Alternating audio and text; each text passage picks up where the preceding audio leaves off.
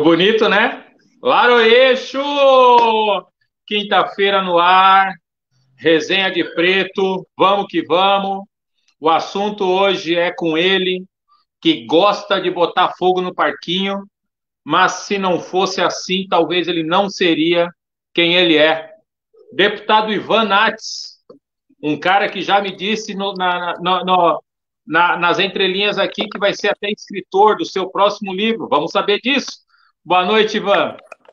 Boa noite, Marco. Boa noite a todos que estão nos acompanhando aí. Obrigado pela oportunidade de conversar contigo, cara. Eu sou cada vez mais teu fã, tá? Acompanho tuas lives quando posso. Quero que tu faça um podcast rapidinho, cara, para a gente ouvir, né? Quando, quando, quando não tá na live, acho que você tem um. Tá, tá no lugar certo, velho. Ô, produção, ouviu, produção? Vamos providenciar, viu, produção? Tá ouvindo? Vamos aí. Ivan, muito obrigado pela oportunidade mais uma vez. É, e eu acho, eu já começo dizendo o seguinte: é muito importante. É, o Ivan, para mim, é uma referência do ponto de vista político, quando você, mesmo tendo ideias é, é que não convergem em algum momento, elas podem ser discutidas e são respeitadas, e você consegue trabalhar com a pessoa muito tranquilamente. Então, o Ivan é um exemplo disso. É, é, o tipo de político que o Brasil precisa, que tem a cabeça aberta, sabe do que quer, sabe como fazer, e é, de, é disso que nós vamos falar hoje. E aí eu já te começo perguntando, Ivan, qual é a sensação do deputado, primeiro do cidadão Ivan Nats, de ter um trabalho realizado bem e com resultado? Ah, eu estou muito feliz com o meu trabalho na Assembleia Legislativa, né? Eu recebi agora uma pesquisa de avaliação do meu mandato feita em Blumenau, só em Blumenau. E, pô, os números foram maravilhosos. A comunidade está acompanhando o meu trabalho, né? Está tá vendo o que a gente está fazendo, a nossa luta. E nós estamos transformando isso em números. Ontem, ontem não, acho que foi segunda-feira, nós fizemos uma, um bate-papo virtual com a, com a CIB e com o prefeito Mário Delbrandi, e o prefeito Mário Delbrand, depois eu repliquei, inclusive, nas minhas redes sociais, fez uma, vários elogios ao meu trabalho, a forma como a gente tem trabalhado, a forma como a gente tem captado recursos para nossa cidade, quase 7 milhões de reais depositados na conta da prefeitura. E, então, além das pautas, que, que são pautas do mandato, de enfrentamento, né, nós temos a pauta também de, de conquistas para a cidade. Se tu olhar em 24 meses, nós, nós, nós captamos 7 milhões e 200 mil para a cidade. É o custo de uma ponte, pô. Uma ponte ali do centro. É muita grana. Nós vamos calçar muita rua. Nós estamos fazendo um sistema mutirão agora, com dinheiro, um milhão e meio de reais do meu mandato para o sistema de mutirão. O prefeito Mário Delbran está colocando em estrada, em piso asfáltico. Nós estamos uh, fazendo uma campanha de recuperação de, de creche nós temos a Oswaldo Debrecht agora é, sendo reformada com o dinheiro do meu mandato, telhado. Nós temos escolas que estão sendo é, é, recuperadas com o dinheiro do meu mandato. A gente vai fazer está fazendo um trabalho muito bacana de, de, de sistema de para pessoas carentes que não têm como pagar um sistema mutirão para a gente poder calçar na frente da casa delas. Pô, tem muita coisa boa. E fiquei muito feliz quando o prefeito Mário Delbrande me elogiou para toda a CIB, para todo mundo que a gente tem que nós temos enfrentado muitos desafios da cidade lá na Assembleia e temos vencido. Um deles é a 68, né? Que é a nossa grande pauta. Acho que nos próximos dias vai começar. Então, enfim, cara, estou muito, tô muito feliz com o meu mandato. Coisa boa, coisa boa. Eu vou, eu vou já colocar o assunto impeachment, Moisés, já para a gente dar uma aquecida na nossa conversa. Uh, antes, já digo aqui boa noite para Márcia, minha querida. Boa noite, minha linda. Uh, Volney, estava com saudade de ti, meu querido. Sumiu, querido, sumiu. Entrou, curtiu, compartilhou. Então, compartilha. Já sabe, né? Senão eu vou, vou puxar o pé quando vocês for dormir. Então, compartilha com a gente.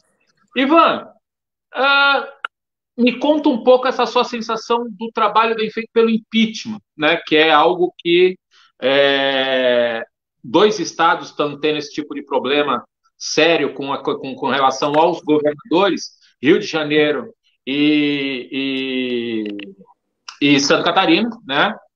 E aí, Santa Catarina, de novo, né? O Rio de Janeiro está lá, aquelas encrencas, mas Santa Catarina, Moisés conseguiu uma sobrevida e agora, de novo, recebe a paulada, fruto de um trabalho que tu fez ali com relação à CPI dos respiradores. Como é que o Ivan, como é que o deputado Ivan é, enxerga essa vitória?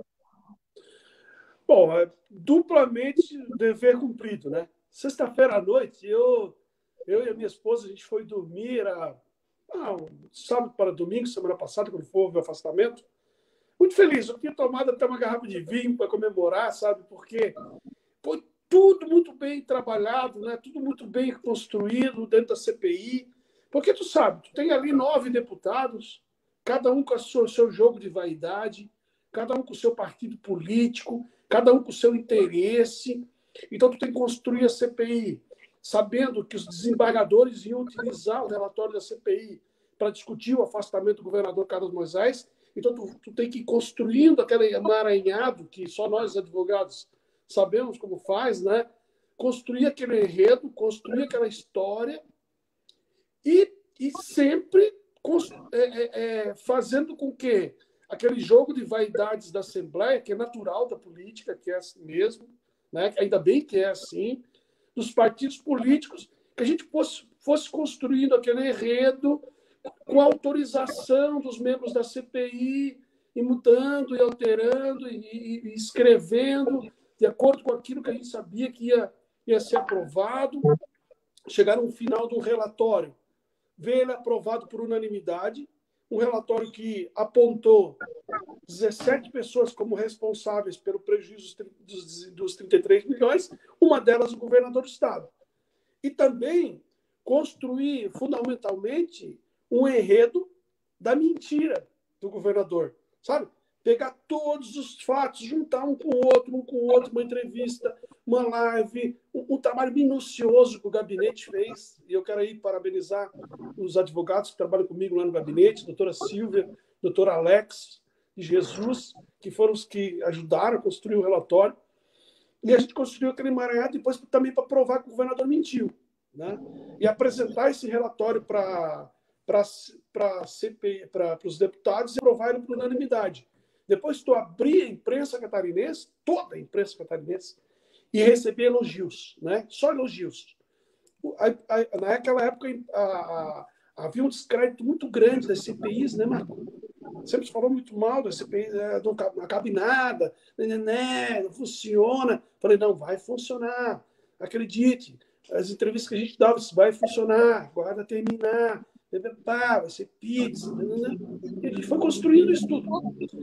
Quando chegou no final, a gente apresentou o relatório, a gente, a gente, nós conseguimos dar um salto né, de qualidade em termos de mandato. Né? Eu deixei de ser um deputado do lado de Blumenau para ser um deputado conhecido estadual, estadualmente. Hoje eu chego num posto de gasolina, eu estou aqui em São Bento hoje, chego num posto de gasolina para abastecer. Ah, estou o Ivanates, é o cara do CPI. Então, deu, deu uma projeção boa. Quando chegou na hora de fazer a admissibilidade do impeachment, que foi a primeira fase do impeachment, aí foi um pouco jogo político e tal, a gente conseguiu, conseguiu fazer a admissibilidade. Agora, o ápice mesmo, e tu é advogado, eu também sou, foram quando os desembargadores começaram a ler o relatório, né? E se basear no relatório da CPI que eu construí junto com os meus colegas da Assembleia para afastar o governador. Aí, então, é realização profissional e também como, como deputado, né? Foi muito legal, muito legal, porque nós trabalhamos muito para isso aí. Quando... Tu me colocou uma vez, tu me falou assim, pô, tu sabe que eu, aonde eu chego, eu não quero passar desapercebido, né? Uh, da onde vem essa, essa tua energia de, tipo, porra, já que eu tô aqui, eu quero fazer direito? Da, como é que, da onde você tira essa, essa pegada? Bom, eu estudo muito, muito, estudo demais, quem trabalha comigo sabe disso. A gente tem uma capacidade de compreensão de, de, de narrativa muito boa também. E eu também não pego briga que eu não possa vencer, sabe? Que eu não possa começar e terminar. Então eu estudo muito antes de começar uma, uma batalha. E a hora que eu começo, ela tem que ter fim. Nunca começo e deixo pela metade. Isso foi histórico. Quando eu come... Oh, Marco, eu reduzi o número de vereadores do Brasil Eu, eu coloquei um enquadramento em todas as câmaras de vereadores do Brasil. Eu fiz uma ação popular dizendo que Blumenau tinha vereador demais, era 21, e que a gente só podia ter 14, segundo um cálculo que eu fiz. Desenhei uma tese, apresentei em Blumenau. O juiz riu de mim, era o Beber, lembra? Não sei se você conheceu o Beber. E virou desembargador, agora agora está aposentado. Riu de mim, disse que isso não ia dar certo. Depois ele, ele lançou a sentença e afastou seis, seis vereadores de Blumenau. Isso foi, foi há 20 anos atrás.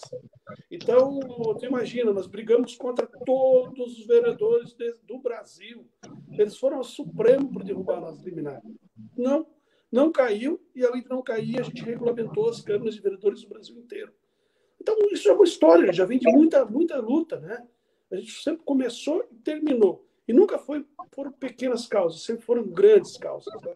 Algumas não deu para vencer, como, por exemplo, a privatização do esgoto em Blumenau, que para mim sempre foi uma sacanagem. Não deu para vencer, mas nós lutamos até o último dia. Enfim, a gente começou e terminou. Bacana isso. Josué, boa noite, meu querido. É, tá com saudade de falar contigo, né? A gente tem que marcar uma live só dos Comuna, igual o pessoal nos apelidou. Alex Rugic. Me corrija se eu estiver errado, pelo amor de Deus. Boa noite, meu querido. Tá dizendo aqui boa noite, grande Marco Antônio. Oh, grande é o mínimo, né? Volney dizendo o seguinte: advogados fazendo a diferença nesse gabinete. Parabéns à classe. É isso aí, Volney. O pessoal que trabalha ali é, é a galera do gabinete cento... 115. É a galera do gabinete 115. Abraço para a galera do 115. É. Vou até jogar no bicho qualquer dia esse número. Eu só não entendo o Ivan nas urnas. Rapaz, o homem tá, o homem foi eleito. O homem foi eleito deputado, né?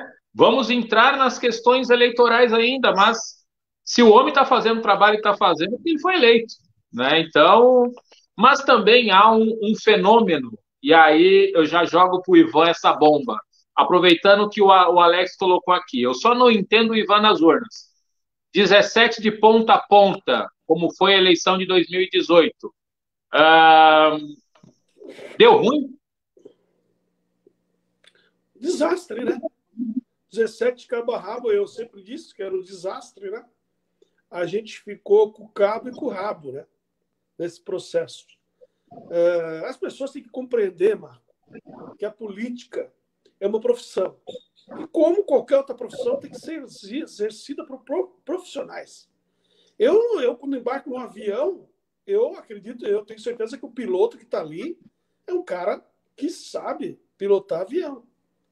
Eu, quando contrato um profissional para minha empresa, para o meu administrador de bens, ou para minha rede lá de negócio, eu contrato experientes, gente que sabe. Mas na política, as pessoas acreditam que alguém diferente possa fazer o que, nem, o que os profissionais não conseguem.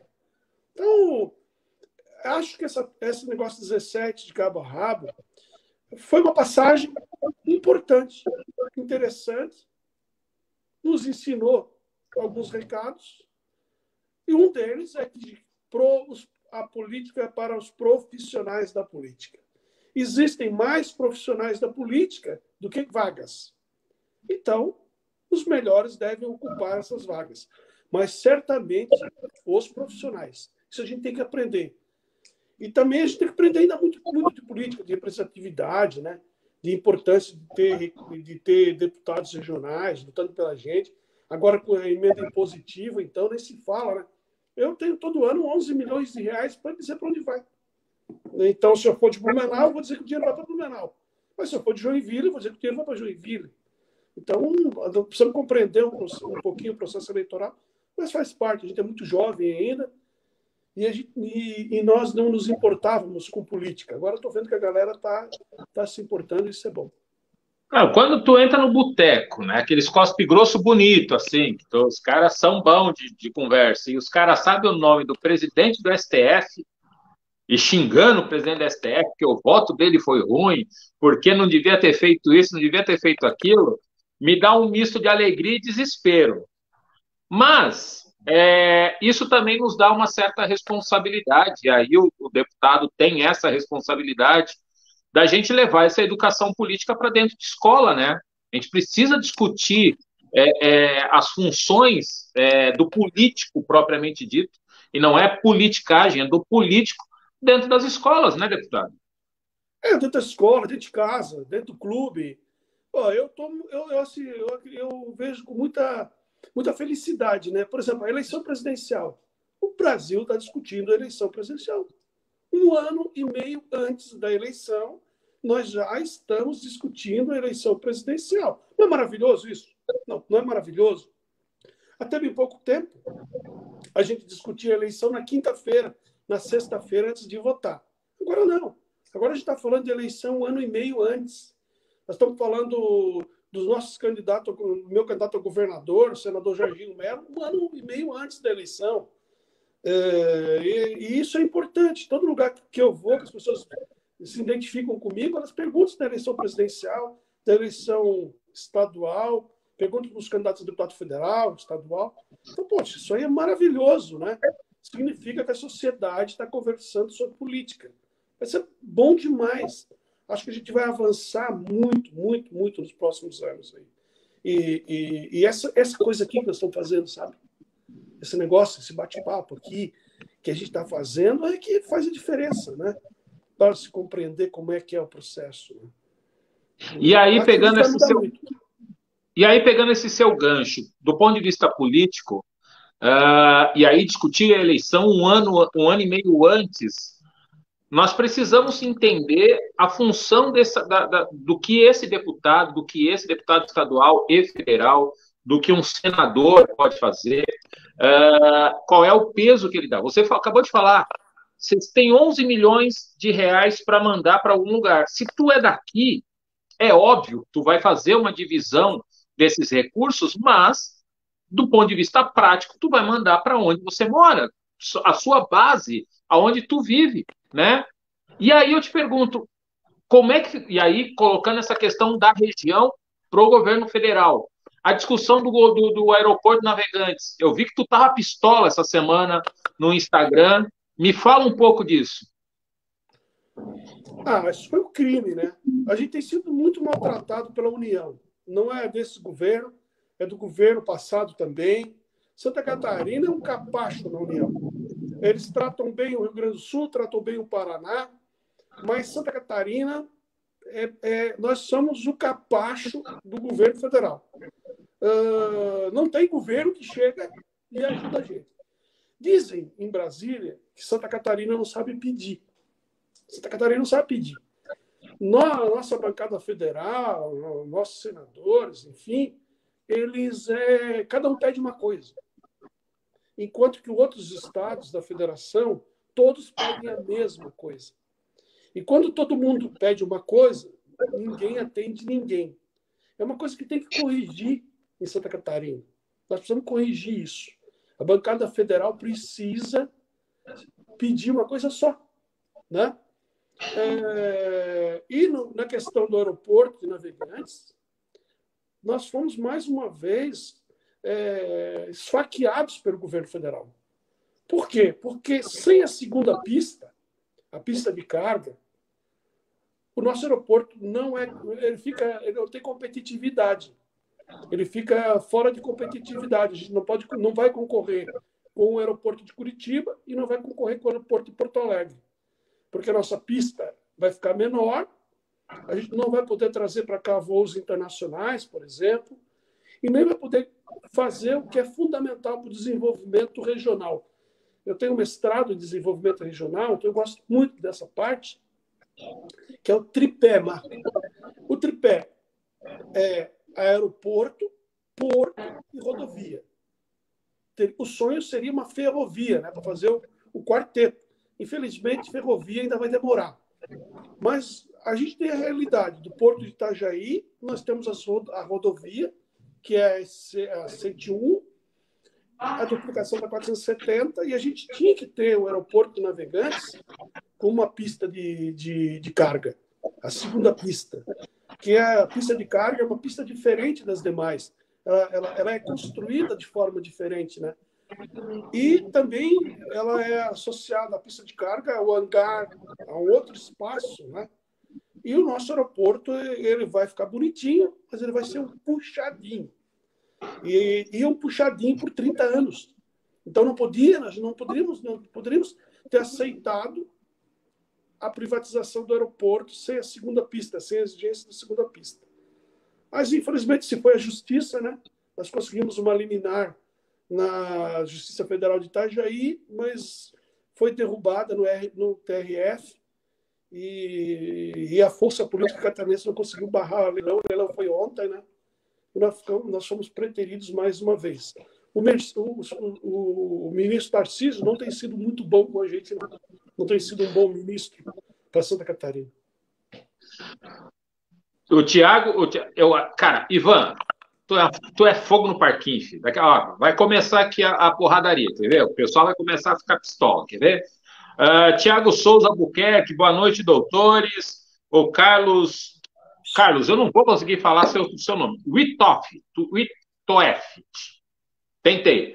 Antes do Ivan ser vereador, ele brigava pelo povo contra o aumento das passagens do transporte coletivo aqui em Blumenau. Eu estou aqui em Blumenau já tem 15 anos. Eu lembro do Ivan fazendo um Aue. Eu, eu realmente lembro dele de manchete no Santa, ele fechando pistola com relação à questão dos ônibus em Blumenau. O Gerson Silva coloca que provavelmente seja isso. Política é, sobra em ladrão. Uh, não entendi o que você escreveu, Gerson, mas enfim. Como fica o Ivan com as novas regras eleitorais que agora vai ser aplicada na esfera estadual e federal? Essa é a pergunta do Josué. E o Josué coloca aqui: como debater política na escola com a história da com a história do escola sem partido? Exemplo, Gessé Lopes. Eu vou fazer as duas perguntas numa só, tá, Ivan? Como fica a sua, a sua vida política com as questões das regras eleitorais? O, o, o Josué quer saber, aplicadas às, às questões é, estado, esfera estadual e federal. E aí ele, a gente colocou aqui, né, debater política dentro da escola. Só que tem uma, um pessoal que acha que tem que ter a, a escola sem partido, que é o projeto, né? Como é que tu, a primeira pergunta, tá tranquilo com a questão do coeficiente eleitoral ali, das questões eleitorais? Tô, tô sempre tranquilo. Conhecer o processo, fundamental. Ah, eu queria falar, só para relembrar a história do transporte coletivo, eu suspendi três reajustes do transporte coletivo em Blumenau. Dois ou três, eu acho, que eram ilegais. Eram ilegais, foram confirmados pelo Tribunal de Justiça e foram cancelados, eram ilegais. Dois anos seguidos. A privatização do transporte coletivo de Blumenau foi um crime contra a cidade. Nós destruímos duas empresas que não tinham nada a ver com o processo, que era a Verde Vale e a Rodovel. Não tinham nada a ver com a Glória. O problema da Glória era o problema da Glória. Da Rodovel não tinha problema a Rodovel e a Verde Vale não tinha problema. E nós criamos o governo Napoleão, que construiu esse crime contra a gente aí. Aliás, nem, nem quero falar de governo Napoleão, mas o governo Napoleão construiu esse crime contra a gente quebrou a, a, a, o sistema de transporte coletivo de Blumenau e agora a gente está na mão dessa empresa que está aí, que é outra vergonha. Já levou 25 milhões de reais nas minhas contas sem prestar serviço. Sem prestar serviço. Ganhou, levou, acho que foi 19 milhões no processo da pandemia e agora está levando mais 3 milhões sem prestar serviço. Onde é que alguém ganha 20 e poucos milhões de reais sem prestar o serviço. Hein? Então, esse é outro debate que a gente tem que fazer. Né? Uh, eu vi esse dia na Câmara de Vereadores que alguns vereadores aí, o Bruno Cunha, não sei o que, querem ver o contrato. Dois anos depois, né? Dois anos depois. O contrato que eles querem ver, a gente já discutiu muito tempo atrás, mas a Câmara aprovou a licitação. Enfim, com relação aos debates lá na Assembleia, eu não dou, eu não dou é, trela para que as pessoas eh, subam minhas costas. Não perco tempo com essas, com essas bobagens né, que são criadas por, ah, às vezes, alguns processos que, não, que eu não concordo. Então, é melhor, às vezes, a gente pegar, deixar entrar aqui, sair aqui, porque o que o cara quer, às vezes, Marco, é uma faminha, que alguém vai subir em cima. Então, deixa falar os quatro ventos. Se a gente não falar de, de política na escola, vamos falar onde? Né? Vamos falar de, vamos falar de política na escola, vamos falar onde? Né? Então, não pode dar muita trela, tem que fazer o que tem que ser feito e pronto. Com relação a, a questões partidárias, eu estou no PL, sou líder do PL. PL tem cinco deputados. Quem não fizer 35 mil votos para deputado não vai brincar daqui a dois anos. Eu estou trabalhando para fazer meus 35 mil votos continuar na Assembleia. Acho que mereço. Né? E vou esperar a população fazer o seu julgamento. Eu vou continuar trabalhando, como sempre fiz. E com inteligência, né? capacidade, vou ajudar o senador Jorginho. Cheguei na Assembleia com, com, como o último dos deputados, menos votado, entre os 40, e hoje é, não se fala da política catarinense sem citar meu nome. Então, tenho postos importantes dentro da Assembleia, né? Liderança do partido, liderança do bloco. Não acontece nada na Assembleia sem passar por mim. Então, eu acho que eu indiquei o vice-presidente da Assembleia. Eu tenho feito, eu tenho tido destaque da política catarinense. Então, acredito que estou fazendo bem feito o meu trabalho, como disse no começo. E você quem é visto, só, é visto, só é lembrado quem é visto. Ah, não dá para ficar, né? Ah, não quero brigar com ninguém, ah, não sei o quê. Não, não é no meu feitio. Eu gosto de fazer os bons enfrentamentos e tem gente que gosta de mim por causa disso. Eu devo muito para Blumenau, mano. Eu fui eleito dentro de Blumenau. Eu, uhum. eu, eu não precisei nem um voto fora. Então, Blumenau sempre foi muito boa para mim. Me deu 5.500 votos para vereador, me deu 17.800 votos para prefeito numa eleição que disputei me colocou duas vezes como primeiro suplente da Assembleia, me colocou como deputado estadual. O que, que eu posso reclamar da cidade? A cidade sempre foi muito boa para mim. O pessoal colocando aqui, né? Uh, o Alex coloca, mas o presidente Bolsonaro já esteve cinco vezes, cinco vezes aqui como presidente. É, fazer turismo é uma coisa, Gilmar, o Alex. Fazer algo real é outra, né?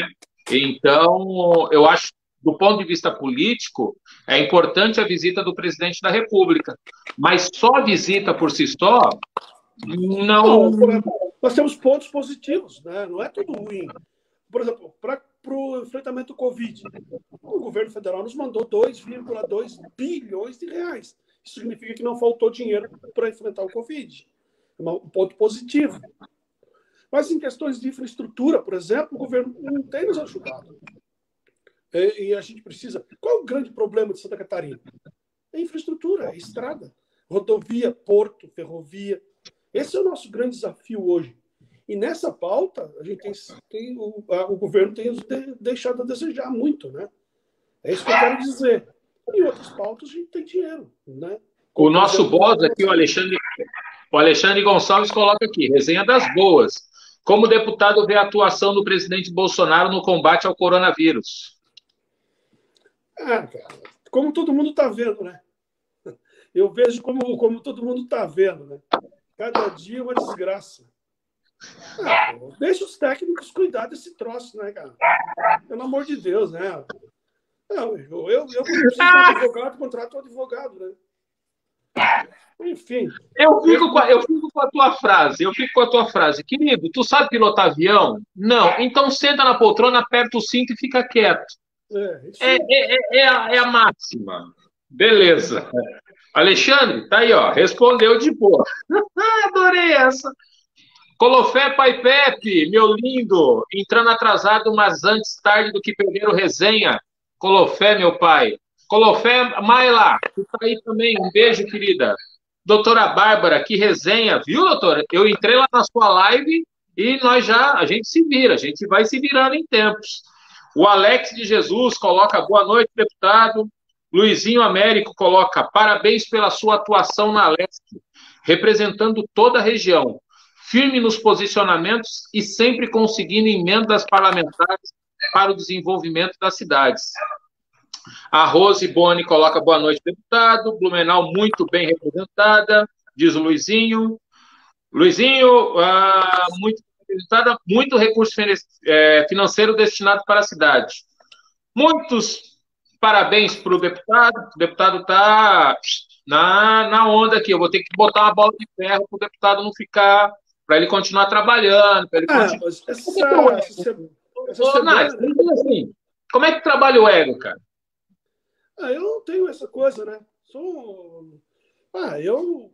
eu procuro ser o mais possível, não tem ego da minha parte, não. Isso é uma coisa que eu não tenho, essa coisa, não.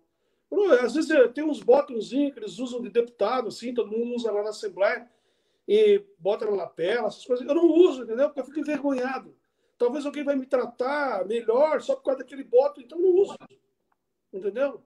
Não quero que ninguém saiba, eu quero que as pessoas olhem para mim como um cara que trabalha, né? Um cara que representa bem a comunidade dele.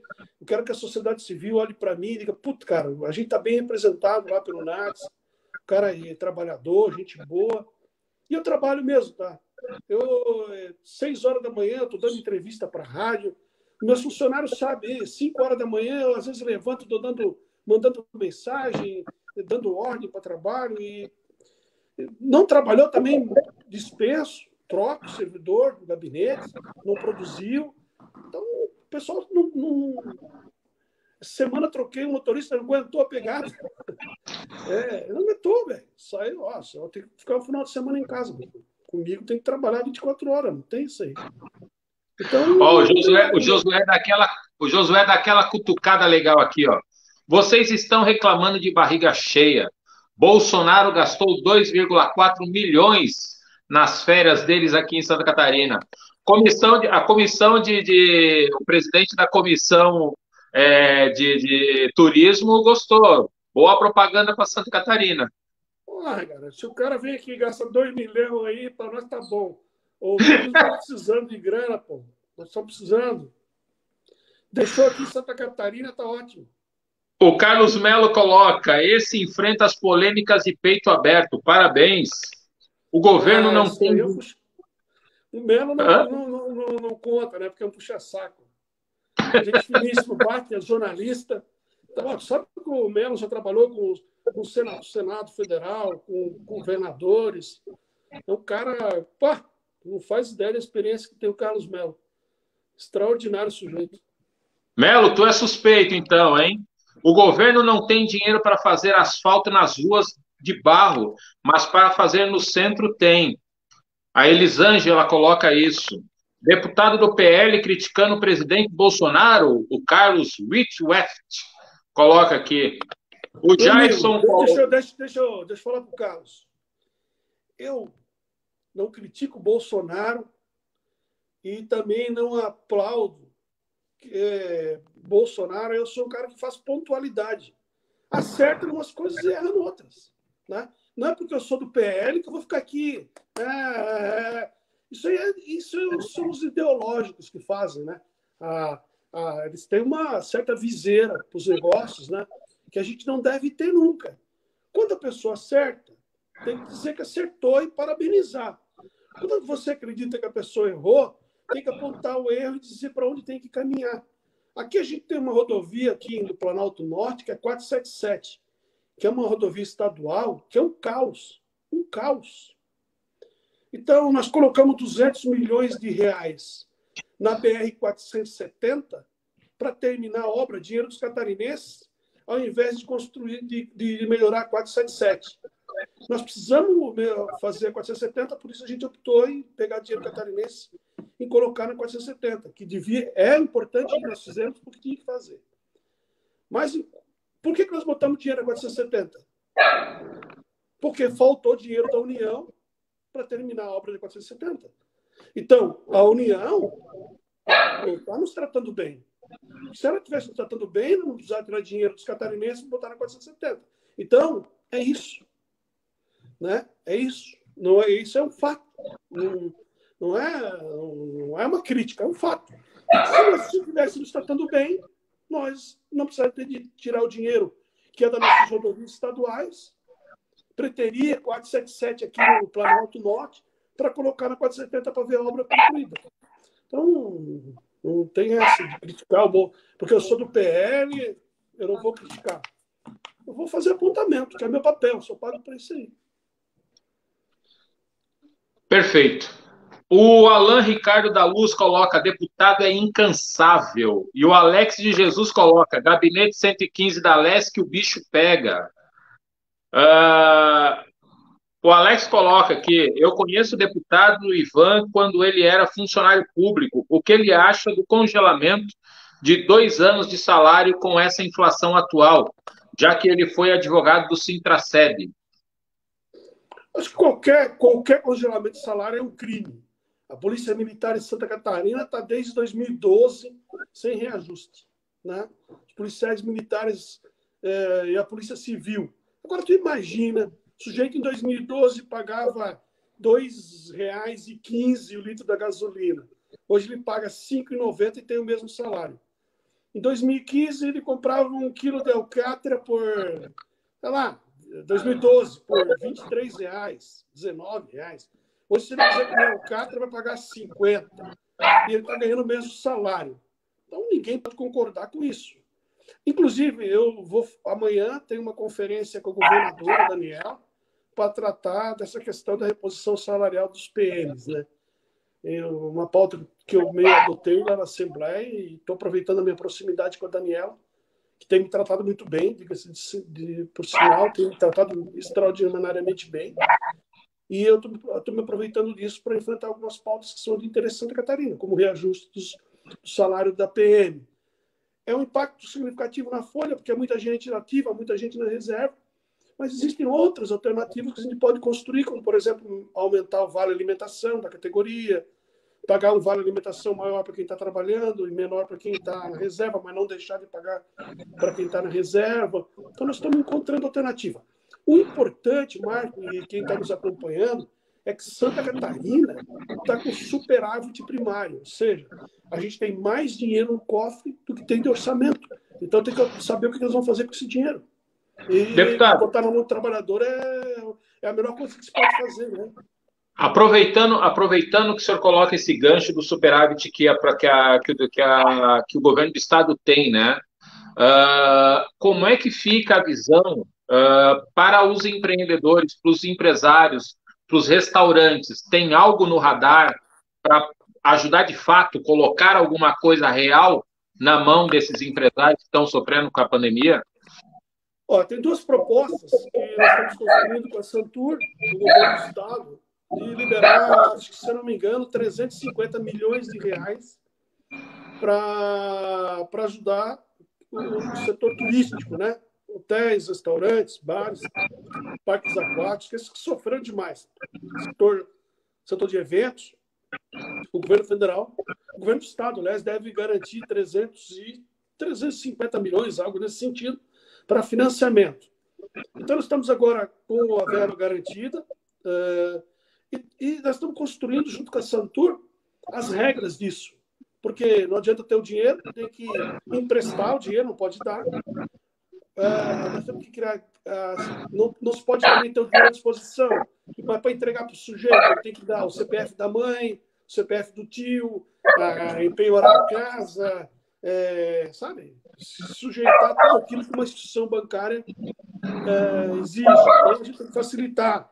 E tem que ter um garantidor também. O Estado tem que garantir uma parte desses recursos.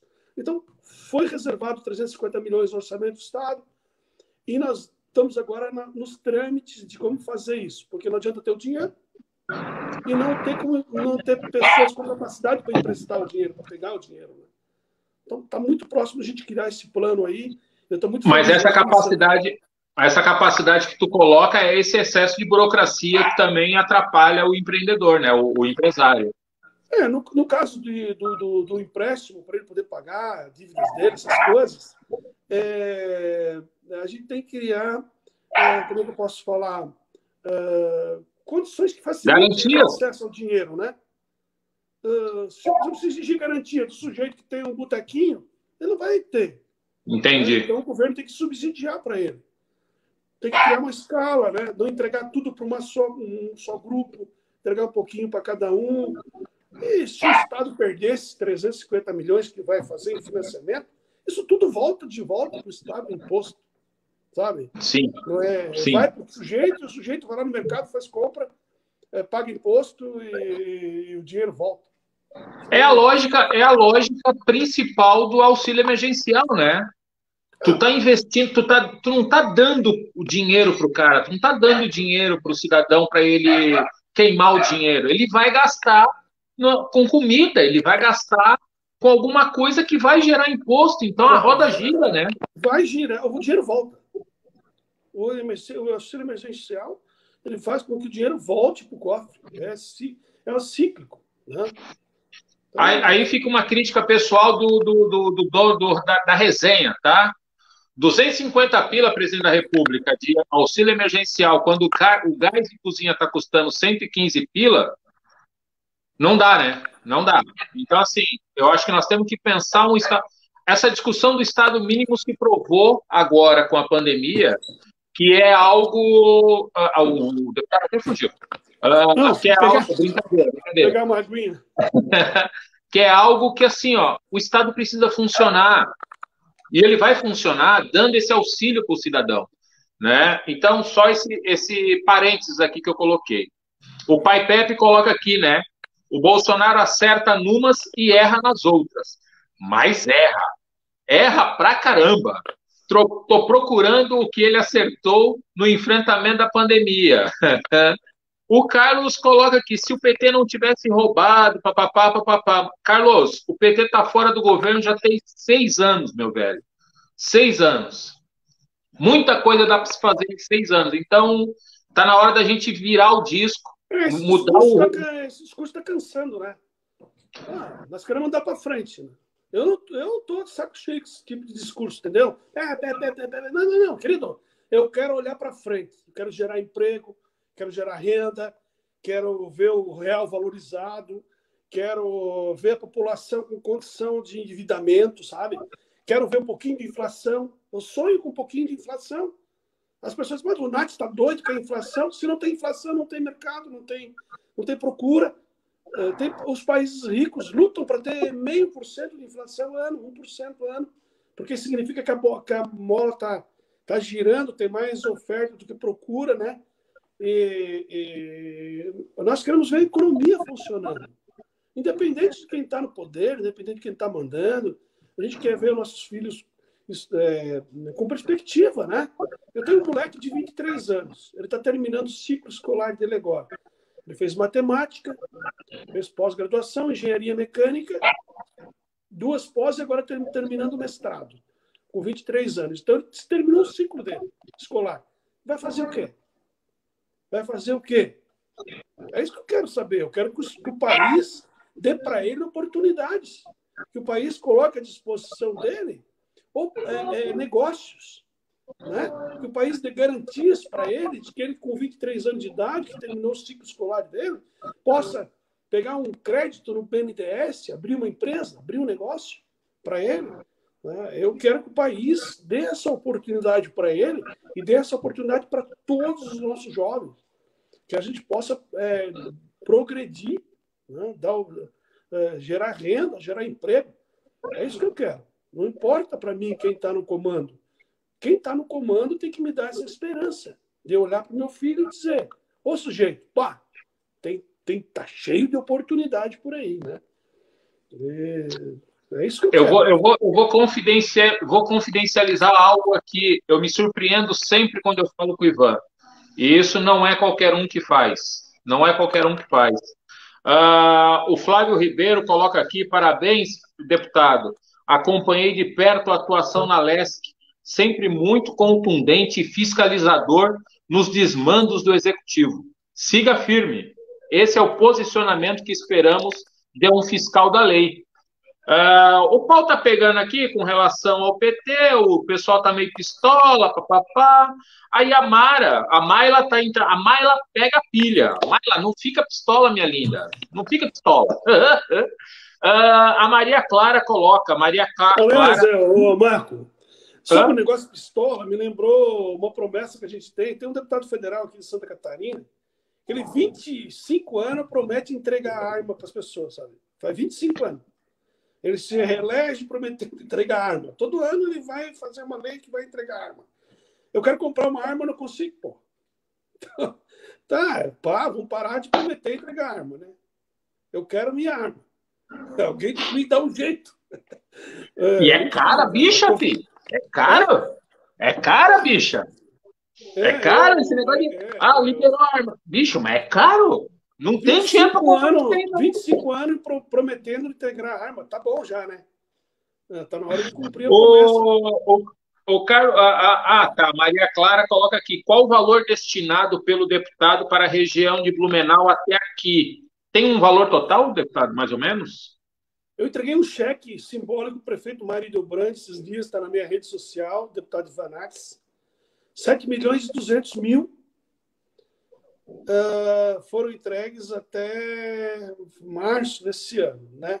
Só que nós já estamos trabalhando as emendas desse, desse ano de 2021. Uh, ah, a prefeitura recebeu semana passada um milhão e meio de reais já desse ano, no meu mandato, para obras de pavimentação. Nós estamos escolhendo as ruas. Uma das ruas que vai ser pavimentada vai ser ali no Boa Vista, um pedaço da Rua da Pedreira, que está de barro, né? Nós vamos fazer o ciclo ali, concluir o asfalto. Outras ruas nós estamos conversando com o prefeito Mário para ver onde ele vai colocar o dinheiro. Mas uma obra que já está funcionando com o dinheiro do recurso do meu mandato é lá no Garcia, no morro do. É, como é que chama? Uma das comunidades mais carentes da cidade, que eu fiz questão de ajudar. A rua. Ai, lá no Garcia, me, me esqueci agora, a rua fica bem na frente do quartel ali. Na, na, na frente do quartel tem uma rua. No final Pessoal que está ouvindo aí, conhece o Garcia, Reino do Garcia. Fala é, para nós aí qual é a rua na frente do quartel. É Splitter, Carlos Splitter, se eu não me engano. Mas é um morro, um morro lá, uma comunidade que vive lá no morro, lá em cima, que não tem acesso, né? muito difícil o acesso. Então, então, pá, esqueci o nome da rua está sendo urbanizada agora, lá na, na, no Garcia. Depois tu lembra. Meu mandato. É, recurso do meu mandato. Então nós estamos trabalhando, pô. E não é só isso. Eu não sei, ó, eu vou mil, perguntar. Só, 500 mil para o Santa Isabel, 500 mil para o Hospital é, é, Beatriz Ramos de Indaial, 500 mil para o Hospital de Gaspar, 800 mil reais para calçar a rua do Baú, na Igota, e assim vai, 250 mil pequeno anjo em Itajaí, uh, um milhão de reais para fazer o mercado público lá na Penha. E tem mais, Marco, vou te falar mais. O senador Jorginho Melo me deu 10 milhões para entregar em emenda parlamentar do governo federal. Cada deputado do PL tem direito a indicar 10 milhões em emenda. Para onde que a gente vai botar essa grana? A região metropolitana. Vamos botar em Gaspar, vamos botar em Dayal, botar em Timbó, vamos botar em Pomerode, vamos botar aqui. Tá? É isso que nós vamos fazer, pô. Fazer melhorar a vida da nossa gente aí. Olha que loucura, né? Mas assim, responda se tu quiser. Mas assim, ó, o pessoal Alex pergunta aqui, como você, sendo morador de Blumenau, é, o que, que você está achando da Câmara de Vereadores hoje a legislação dos vereadores mudou muito da sua época. Bom, o que, que tu está achando da Câmara de Vereadores hoje? E se esse formato, se essas cabeças que estão ali, mudou muito da sua época de vereador? Ó, quando eu fui vereador, eu via algumas das pessoas que são vereadores hoje jogando pedra na Câmara. Tem dois ali, ou três, que eram especialistas em jogar pedra na Câmara. Que a Câmara aprovava moção, que a Câmara fazia dia, que a Câmara não fazia não sei o quê, que a Câmara isso, que a Câmara aquilo, né? É, é, olha só, é Rui Tapuí. Acabei de receber uma mensagem agora no meu celular do Isaías, grande Isaías, Rui Tapuí, está sendo é, é, pavimentada com, meu, com recurso do meu mandato. Região mais pobre da cidade. Tá? É, muita gente que está ali hoje uns dois ou três, jogavam muito pedra na Câmara. Eu estou observando, né? Porque jogar pedra é mais fácil, né? Do que, do que fazer, né? Quando tem telhado é, gente... de vidro, aí o negócio fica aperta, né? É, mas a Câmara sempre tem um papel muito difícil, né?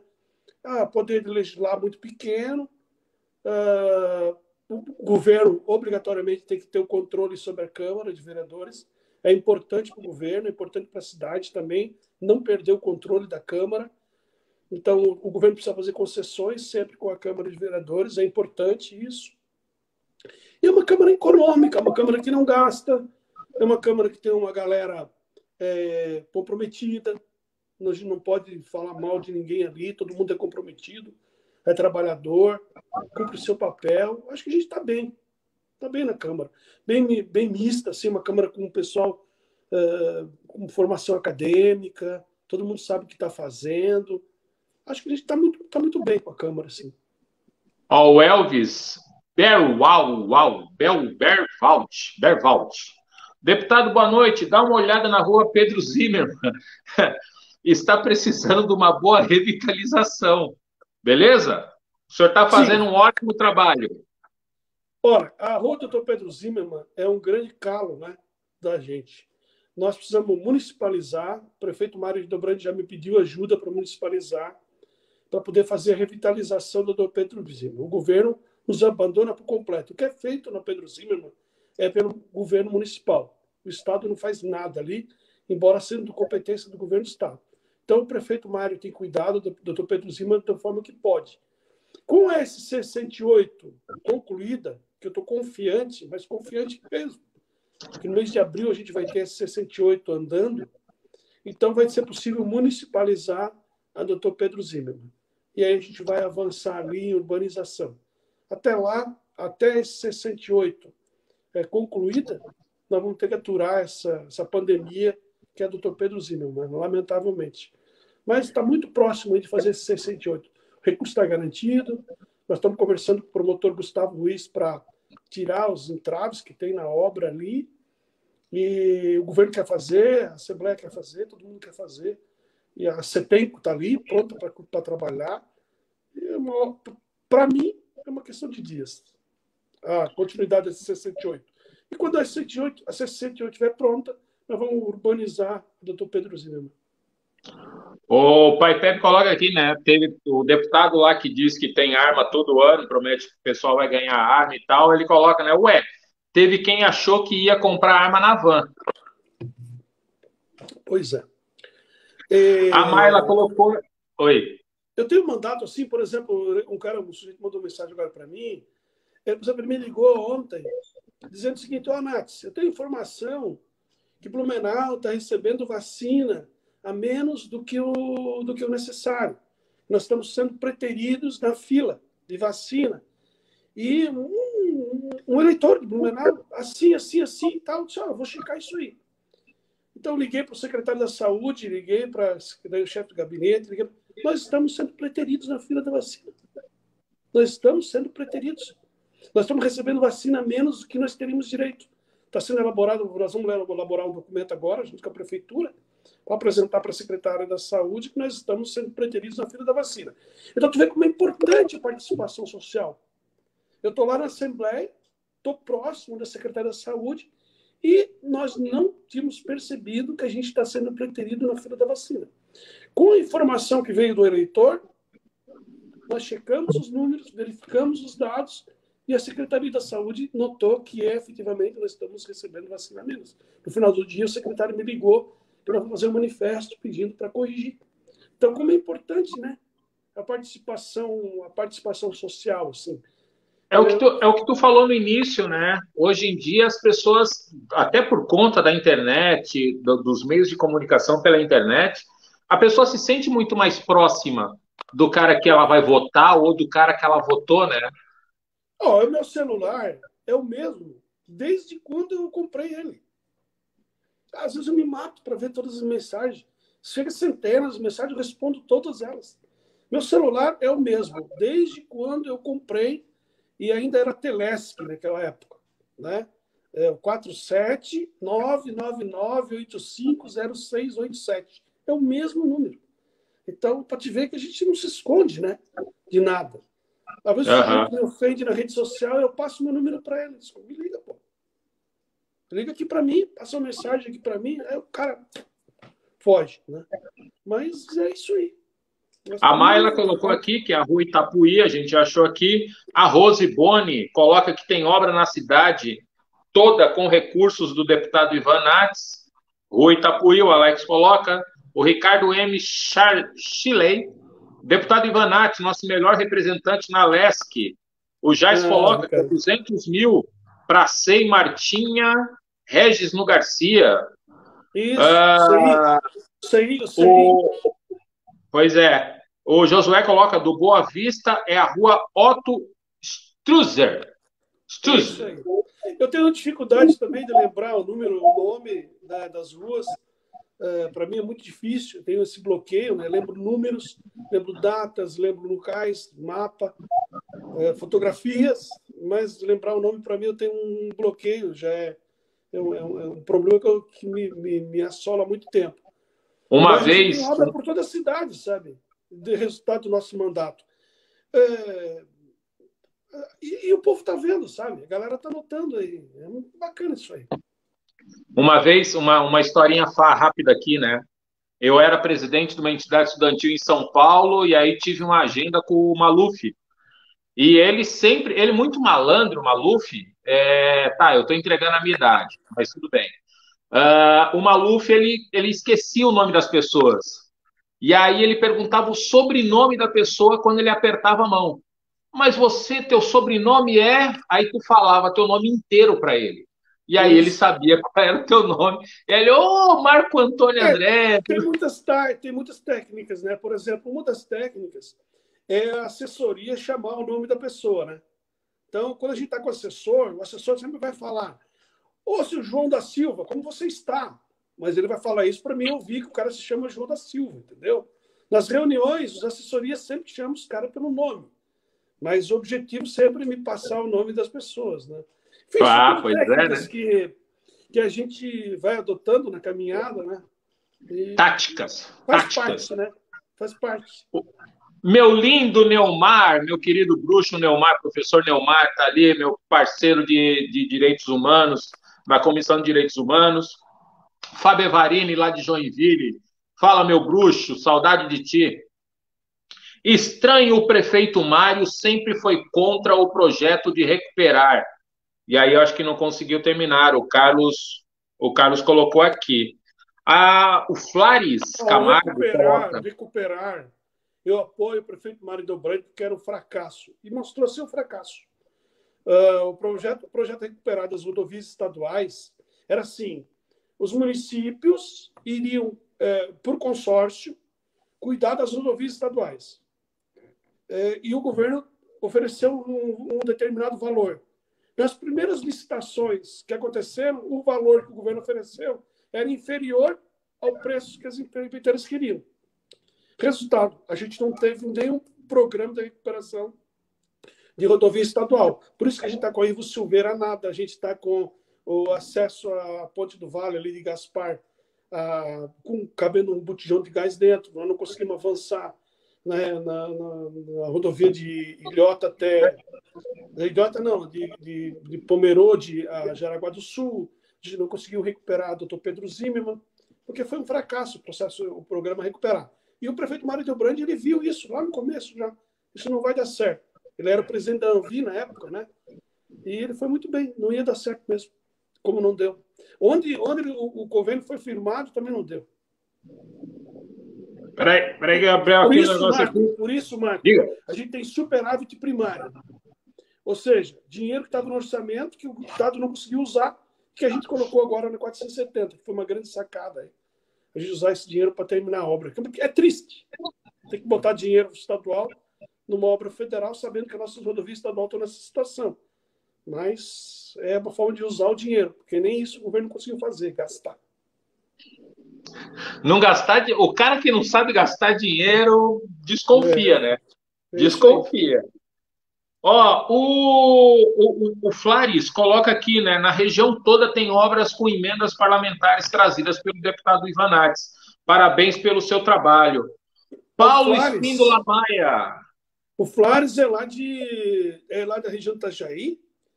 E eu queria dizer para ti, Flares, que nós temos dois trabalhos importantes lá em Itajaí.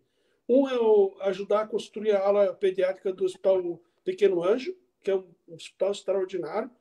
Recebeu recurso do meu mandato agora, 300 mil reais. E outra é recuperar o colégio é, Cooker, Newton Cooker, de Itajaí, que está numa situação deplorável. Então, nós estamos conseguindo, já conseguimos 200 mil reais para trocar o telhado do, do Newton Cooker E nós vamos conseguir agora, acredito, mais 200 mil para fazer a reforma interna do colégio. Aí em Itajaí. Paulo Espíndola. Um beijo, Colofé, meu lindo. Saudade de ti. Ô, Covid, vai embora, Covid. Eu quero fazer uma macumba, Covid. Vai embora. Não é. tem como abrir igreja, não tem como ir para o terreiro, não tem como ir para a missa, porque a gente vai tudo aglomerar, a gente vai querer abraçar, a gente vai querer beijar, e não vai dar certo. Então nós temos que ficar em casa. Não dá. Então, ô, ô rapaziada, para de inventar moda. Para de inventar moda. Ivan, a produção já me deu carta branca e eu tenho dois assuntos para tratar contigo aqui. Uh, o primeiro é o seguinte: eu acho muito importante uh, uh, os seus posicionamentos com relação a essa coisa da, da, da, do tratamento precoce que o pessoal coloca, né? A questão do tratamento precoce, precoce, precoce. E tu tem sido muito duro com relação a essa questão do tratamento precoce. Então, aqui ao vivo e para todo mundo saber, eu, eu, compartilho da sua ideia. Acho que tu está tendo um, um, um, posicionamento muito coerente, porque assim eu acho que falta um pouco de coerência e empatia com as pessoas hoje, né? Então, assim, parabéns pelo seu posicionamento e como é que tu tem enfrentado isso com essa galera que está meio fora da casinha? Bom, eu, quando tive Covid durante a eleição, né, eu fiquei em cadeira de roda, passei muito mal, sofri demais, fiquei uma semana de cadeira de roda. Eu fiquei 20 dias, foi durante o processo eleitoral, na cama. Eu ainda tenho muitas dores na perna, muitas dores na perna, e ainda estou com problema de visão. Minha visão ainda está um pouco turva, resultado do Covid, né? E eu, quando tive Covid, cara, eu tomei a, todos os kits que, que me deram cloquina, piroquina, diquina, tudo que era quina que me receitaram, eu tomei, velho. Porque quando tu tá doente, tu toma até chá de abacate, né?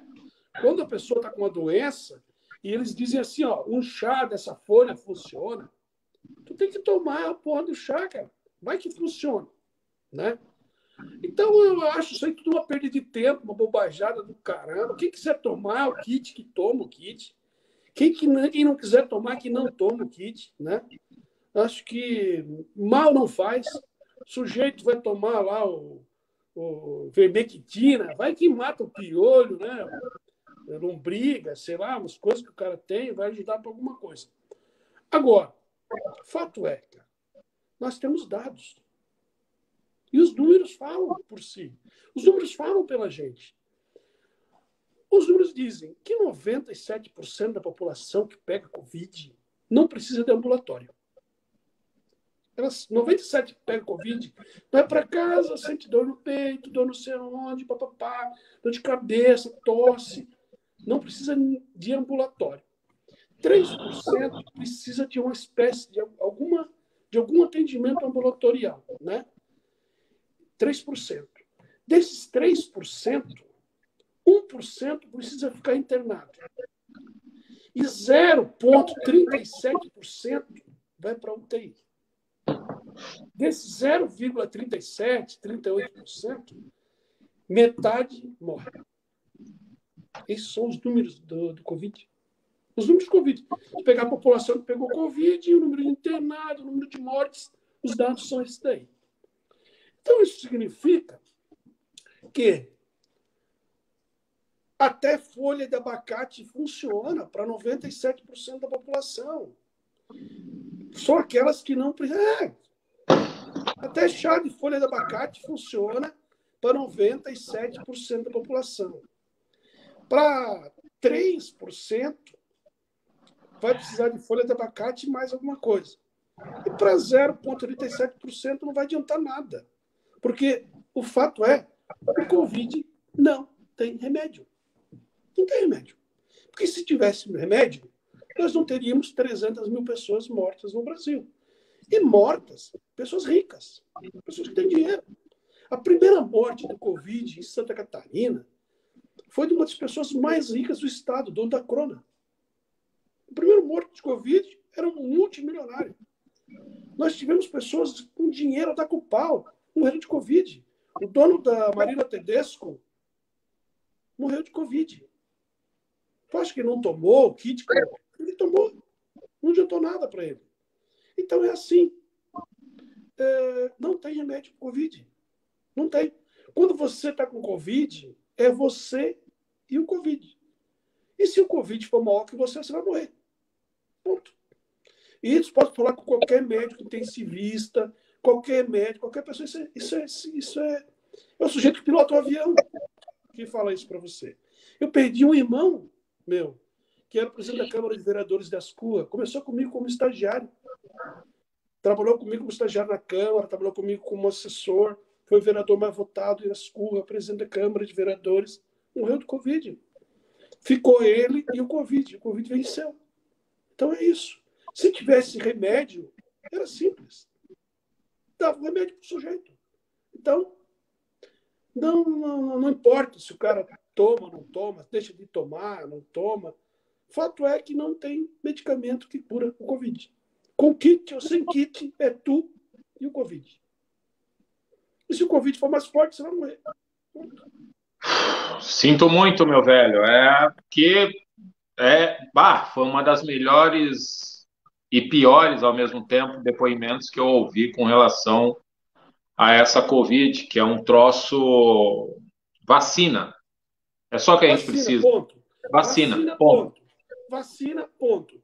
O Brasil, Marco, tem, nós aqui em Santa Catarina, ficamos, ficamos discutindo esse troço aí. Lá na Assembleia, eu nem entro nesse detalhe. Não tem uma fala minha nessa isso aí. Porque eu acho que é uma perda de tempo, um negócio surreal, uma perda de tempo sem, sem precedente. O Estado está com dinheiro saindo pelo ladrão.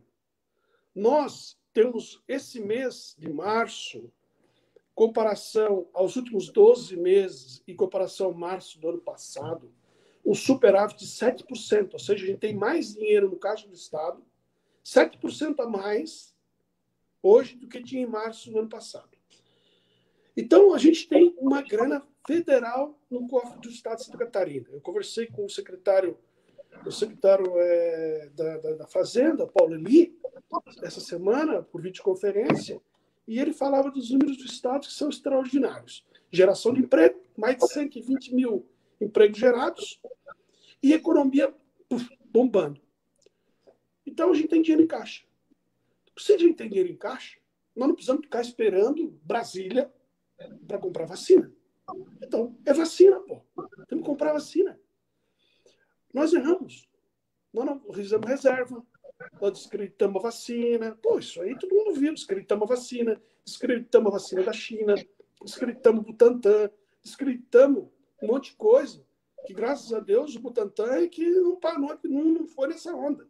Então hoje a gente tem vacina aí sendo produzida pelo Butantan. Mas se a gente tem grana, tem que sair pelo mundo para comprar vacina, pô. É isso que a gente tem que fazer. É só vacina.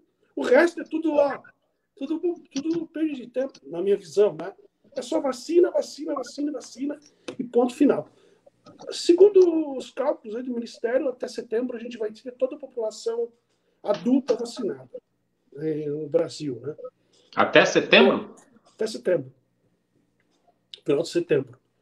Axé. Uma, é, eu também tenho uma crítica né, com relação a isso. Eu achava assim, por exemplo, que a gente devia vacinar primeiro o setor produtivo, Vacinar primeiro quem trabalha nas lojas, vacinar primeiro quem tem contato direto com as pessoas, o comprador de ônibus, o motorista do ônibus, o franquista do posto de gasolina, a professor que atende na loja, sabe? Primeiro essas pessoas que têm mais contato com gente.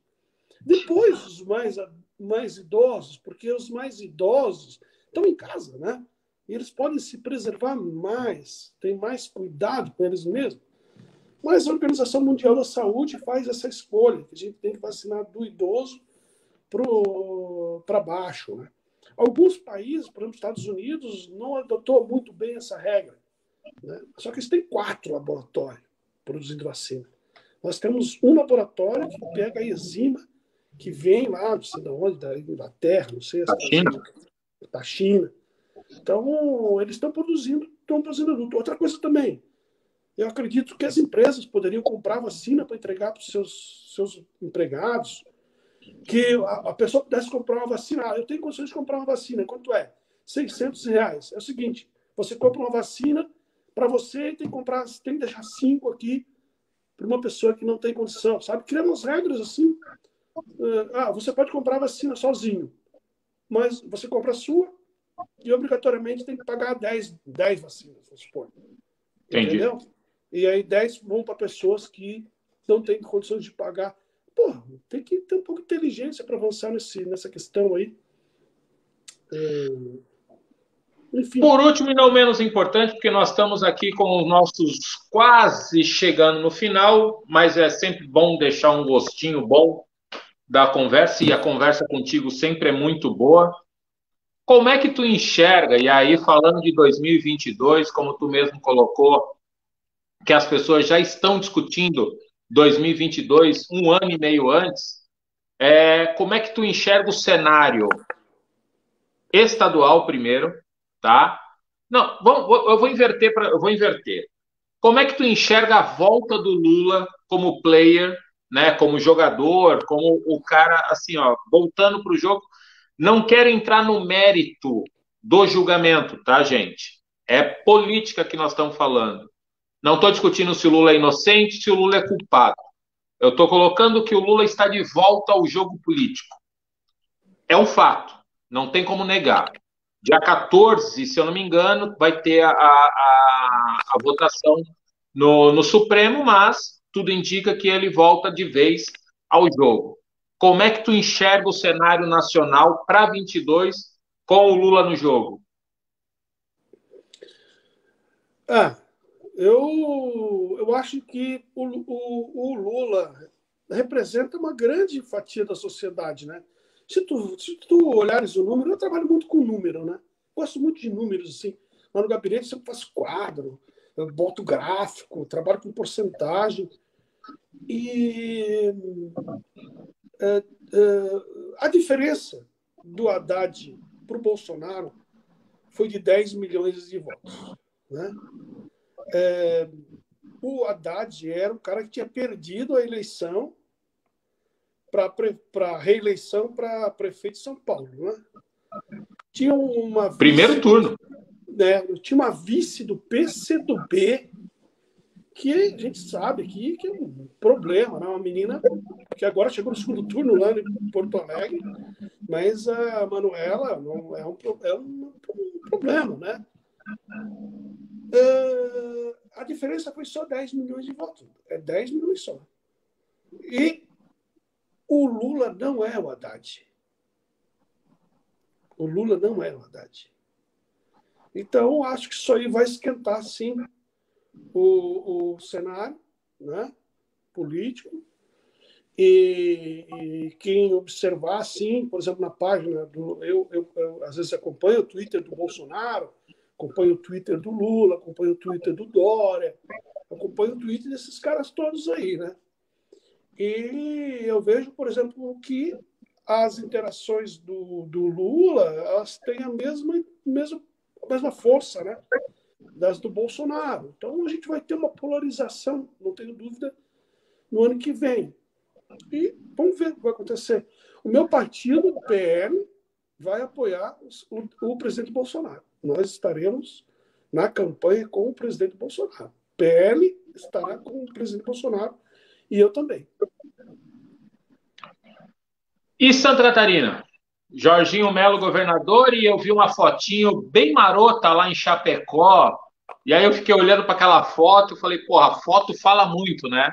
E aí vi Jorginho Melo, Daniela, é, e aí eu pensei, porra, lá vem uma dobradinha PSL e, e, e PL. Isso é possível? Bom, tudo é possível, né? O Jorginho está construindo uma aliança para vencer as eleições. Tem três vagas: uma para o Senado, uma para o governo, uma para vice. Eu, o nosso desejo é de ter o, o, o prefeito Juarez Ponticelli, do PP, como vice. Esse é o que eu construo lá dentro. Converso sempre com o senador e acho que o PP e o PL vão juntos, somam hoje 98 prefeituras em Santa Catarina. É o mesmo número do MDB. Então, a gente entra no jogo com força política estadual. uh, tendo o PP de vice. Nós temos uma vantagem muito grande nesse processo eleitoral, que aquela coisa da tríplice aliança, do, da força política regional, ela não se constituiu no processo municipal. Por exemplo, nós temos lá no oeste do estado o, o, o prefeito do PSD. Nós temos em Joinville o prefeito do Novo. Nós temos em Florianópolis o prefeito do Podemos. Nós temos em Criciúma o prefeito do PSDB. Nós temos em São, em São José o prefeito do PSD. E nós temos no PL prefeitos em 48 municípios. Então ficou muito, sabe? Ficou muito misturado isso aí. O jogo está aberto. É, é muito bom para o Jorginho. Então, no nosso desejo, é, não sou eu que cuido disso, né? eu sou da coordenação da campanha, mas eu, é quem, quem decide essas coisas é o senador Jorginho. E eu acredito que, que a chapa ideal seria Jorginho Melo, governador, Juarez Ponticelli, vice-governador do PP, e a gente ter uma vaga para o Senado para alguém do PSL, porque o PSL tem muito tempo de TV, né? E isso é importante para o processo. E já que nós vamos estar junto com o Bolsonaro, se o PSL estiver com o Bolsonaro, para nós melhor ainda. É, talvez uma, um candidato ao Senado, uh, nós temos aí várias opções, a, a, a deputada federal Carolina Detone, nós temos o, um, o deputado federal de, de Criciúma, que é um, um, sujeito que tem uma entrada bacana também. Enfim, a governadora, a governadora termina o mandato dela e finish. Rapaz, eu não sei nem se vai ter mandato, né? Quanto vai se, se vai terminar, né? Mas nós temos que cuidar do nosso, nosso, do nosso ninho, né? como diz o senador Jorginho Melo. Se tá certo. né? E construir. Cara, eu estou muito feliz, ô Marco. Pá, estou feliz mesmo. Estou aqui sozinho, né, no hotel, mas estou muito feliz por estar vivendo esse momento aí importante. E as pessoas também dando importância para mim. Isso acontece pelo trabalho, né? Acontece pelo uhum. trabalho. Não acontece por outra coisa, não. Ivan, as resenhas. Passando o Covid, eu, eu, eu espero que eu possa fazer uma, uma resenha pessoalmente contigo, mas sem câmeras. Eu quero ouvir mais do, do cara Ivan Nats, que é, é, eu acho você um cara com todos os defeitos que todo mundo tem, um cara muito fantástico, trabalhador, político, na essência da palavra. Qual é a esperança que tu tem para o futuro, meu velho? Ah, eu sou um positivista, né? Eu sou um vendedor de sonhos. Eu sempre acredito que vai ser melhor, entendeu? Sempre. Amanhã vai ser melhor que hoje. E é mesmo, né? Todo dia é melhor do que o dia que passou. Para mim, sim. Acho que a humanidade está cada vez melhor, a gente está cada vez mais. A gente continua com defeitos humanos, né? Mas, assim, coletivamente, a gente está mais. Muito mais. Muito mais. É, muito mais apaixonado, vamos dizer assim, muito mais humano. Pô, tu imagina, 20 anos atrás, o cara corria atrás de um boi, para matar o boi, para fazer o boi sofrer botava o galo de briga para se brigar. É, tu ia num baile, era uma confusão, era briga de casamento, então os casamentos os irmãos brigavam, era uma confusão da porra, negócio fora era louco. Hoje não, cara, tá todo mundo bacana, porra. É. Eu fui na cidade aqui em Papanduva, tem dois PM, cara. Os caras em dois PM cuidam da cidade, tem 16 mil habitantes. Então, pô, Meu tá Deus. bom demais, né? Tá bom demais. Coisa boa. Eu, eu acredito muito aí que, ela, que vai ser muito bom. O país, Marco, tu é testemunha disso, eu sou. Nós viemos da, da, nós viemos do trabalho, cara. Eu, com 12 anos, eu era pacotador na Rede Vitória. Né? Eu, eu, no dia da minha formatura de direito, eu, eu era um jardineiro, limpava o jardim, fazia piscina. O cara está aí até hoje, meu amigo. Eu, eu era responsável pela limpeza dos cachorros, do jardim. No dia da minha formatura de direito, eu fui comprar meu carro, já estava dois anos casado, três anos casado. Então, quero Fusca, né? Como todo mundo teve. Pô, cara, hoje a gurizada já sai de carro zero, com 18 anos, quem tinha um trabalhinho já se dá bem. Pô, a gente tá indo muito bem, cara. Eu, eu, eu, quando casei com a Ana, a gente foi morar numa casa que não tinha energia elétrica. Era a água vinha lá do mato. Né? E, pô, isso já não tem mais hoje. Então, uh, uh, tem, tá muito melhor hoje que foi no passado. Muito melhor, muito, muito, muito melhor. Uh, o resultado, por exemplo, assim, o meu sogro, cara, tem 27, 97 anos. A minha sogra tem 94 anos. E eles têm saúde de ferro, velho. Isso aí é maravilhoso, né? Então, eu estou muito, eu tô acreditando sempre que vai ser melhor amanhã. Ivan, mais uma vez, muito obrigado. É, as resenhas contigo são sempre muito legais, porque é um papo leve sobre coisas sérias, e eu acho que essa, você encarna de fato o que é o Resenha de Preto. Mais uma vez, muito obrigado. Uh, continua nessa caminhada sua. O Neumar colocou ali que é, as emendas são públicas, não é do deputado. Eu concordo, Neumar, é, é fato. As pessoas não, precisam não, não, emendas... parar com essa coisa. Não, Diga. não, não. As emendas são do deputado, não são públicas. Sim, mas o que ele está querendo dizer é que as pessoas idolatram o, o, o ser, né? E eu acho que a gente precisa enxergar o trabalho do ser, né? Precisa reconhecer o trabalho do ser e não tratá-lo como um mito. É, o Marco, Marcos, olha só a importância da representação regional. Eu estou aqui em, em, em, onde é que eu estou mesmo? É, São Bento Sul, São Bento Sul. Mas eu estava ainda há pouco em Mafra. Os caras querem 200 mil reais para comprar um trator, eles precisam do trator. Então, tu vê, nós colocamos 7 milhões e meio em Blumenau e estamos discutindo se a gente vai ajudar com 200 mil em Mafra. Então, olha a força da representação regional. Sim, então, sim. É isso aí, pô. Nós vamos ajudar. Mas, a, mas só para dar uma só para dar um adendo, uh, é que o que o Neymar quer dizer é que as pessoas precisam pensar que você é uma figura que representa o voto deles e que faz o trabalho de representação. Ponto. Tá tudo certo. Tá? Então, assim, quando a gente enxergar para o Ivan e, e, entender que ele está deputado e é advogado, por exemplo, a gente dá um passo à frente. O que as pessoas precisam entender é que ele não é um salvador da pátria, mas ele é um político e dá a sua vida Dá, cara, ele tá não sei quantos quilômetros de casa. Onde é que você está? Em São Francisco do Sul? São Bento. São Bento do Sul. É, mas eu já tô. Ontem nós dormimos em Porto União. Antes de ontem nós dormimos em Barra Velha, Porto União, São Bento hoje e amanhã em Joinville. Chego sábado à noite em casa. Ou seja, o político como o Ivan, ele dedica a sua vida a isso, né? Eu acho que isso precisa ser reconhecido. Existem maus políticos? Existem. Assim como existem maus professores, maus policiais, uh, uma série de coisas. E para dizer que eu não falei sobre, repito, discutir relações étnicas raciais, discutir os problemas raciais, é também fazer política e entender que trabalhos como esse que o Ivan faz interfere diretamente na população negra, de uma forma ou de outra.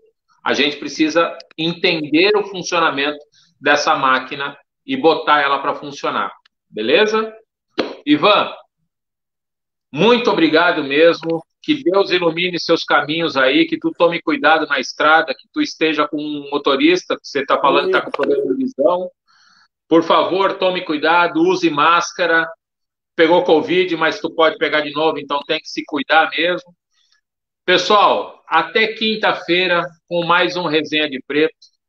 Como eu sempre digo, eu falei essa semana, inclusive, no, no, no Instagram. Quem é de amém, amém. Quem é de axé, axé. Quem não acredita em nada, meu querido, respira fundo, respira fundo, que essa porra toda vai passar.